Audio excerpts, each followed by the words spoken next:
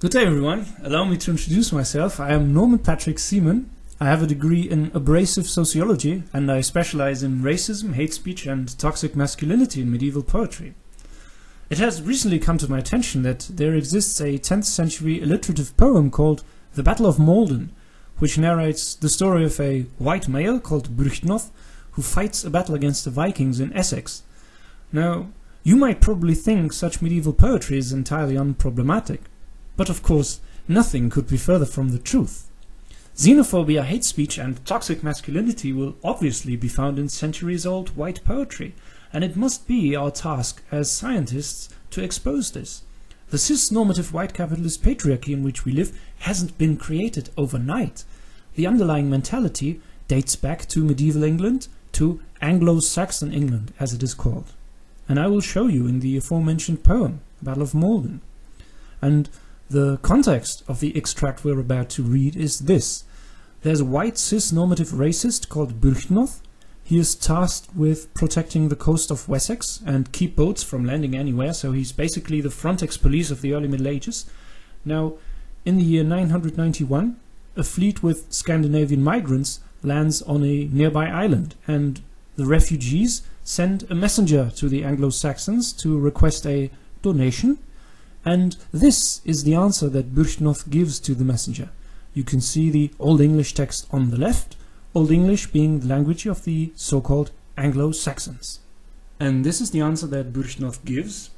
Brimmana boda abeot eftonjan, saith inum leodum mikle ladrespel, that her stint unforkuth eorl mitis werde, thewile je alian edelthisne, edelredes erd eldres mines, folk and foldan, ferlan sheolon hedene et hilde, to lich me thinketh, that je mit urum schatum to schippegangon unbefochtene, nu je thus feor hider, on urne erd inbekomon. Now, again, this might sound entirely innocuous to you at first, but a closer look immediately reveals the xenophobic, hate-filled vocabulary that Byrhtnoth uses to refer to the migrants. He addresses them as brimmen, seamen or sea folk, and this is done throughout the entire poem. The Vikings are constantly framed as creatures of the sea, as opposed to the Anglo-Saxons who inhabit the land. The Vikings are also described as heathenir, as heathens, which obviously is Christian hate propaganda. Again, the heathens are set in opposition to the Anglo-Saxons and to Byrhtnoth, who is depicted as a devout Christian. So what we have here is a strategic essentialism, is the artificial construct of an enemy for political gain, which is the usual practice among racists, nationalists, and all enemies of progress. It is a form of hate speech known in science as othering. Creating an other of someone by using an assumed group identity is used to shift power relations in your favor and to dehumanize your opponent. By framing the Vikings as foreigners, as sea creatures and heathens, the poet constructs an enemy other in order to divide society and spread hatred. It is as if Donald Trump had read that poem and applied its lessons. Anyhow, here Byrhtnoth finally drops the mask and he openly states what he is fighting for.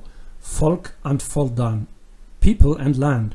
In saying so, he implicitly claims there was a so-called West Saxon people connected through common ancestry, culture and language, and he claims that he himself was somehow a spokesperson for this so-called people.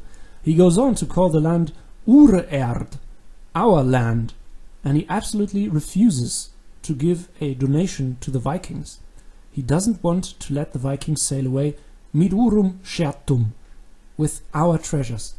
Our treasures, as if the English wealth of the 10th century had not been created by capitalist exploitation of the international working class, as if an oppressor like Byrhtnoth could actually lay claim to any riches the oppressed have produced.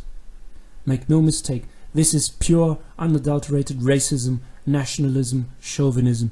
This blood and soil ideology is what made Adolf Hitler or Donald Trump successful and it led directly to the horrors of Auschwitz. And it originates in that poem. This is how it began. This poem is one of the first documents of so-called patriotism in Europe. And its poet, who of course is a dead white male, was the first in a long line of xenophobic English fascists like Oswald Mosley, Ricky Gervais or Boris Johnson. And believe it or not, this alt-right hate propaganda is even now taught at universities to unsuspecting students. Imagine there are young people sitting and reading such texts and they grapple with the metrical properties of the poem or the case system of Old English instead of burning those books and raising their fists in protest. This is hate speech. And it is not only the medieval sources themselves which are racist. No, the mere term Anglo-Saxon and with it the entire academic discipline that concerns itself with those so-called Anglo-Saxons is racist. Thanks to brave and innovative authors such as this lady here, this has recently been exposed. And imagine my shock when I read there are still scholars who use this racist term Anglo-Saxon when they talk about early medieval England. And these scholars are of course complicit in the dehumanization of people of color, but they keep using hate speech, they keep using the term Anglo-Saxon when they talk about early medieval England. Which of course is absolutely horrible. Historical linguistics is and has always been a deeply racist subject, as we have found out nowadays. And racist are of course the venerable old scholars as well, dead white males like Eduard Sievers.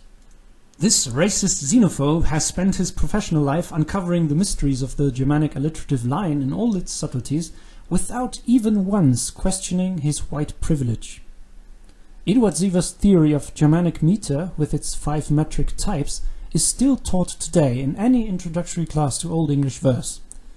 And, of course, if like Sievers you devote your lifetime to centuries-old poetry, you're a racist. How good that we're finally aware of this.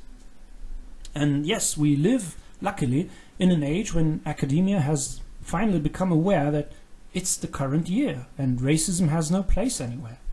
Scholars enthusiastically rally to the flag of anti-racism and reject this made-up term Anglo-Saxon and its white supremacist ideology.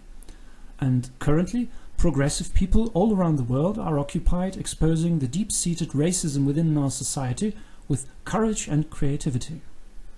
And Make no mistake, if you want to get rid of racism, and who doesn't, are you for racism? So if you want to get rid of racism, you have to dig deep and get to the roots. You have to access all poems, comics, TV shows, films, novels and statues, every medium basically in which white supremacy is perpetuated. We have to clear our art, our culture and the academic disciplines concerned with them from racism. Only then will we create the tolerant and truly diverse society we all strive to live in.